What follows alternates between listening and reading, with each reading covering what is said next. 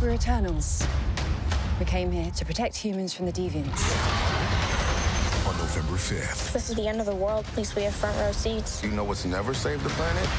Your sarcasm. Marvel Studios Eternals.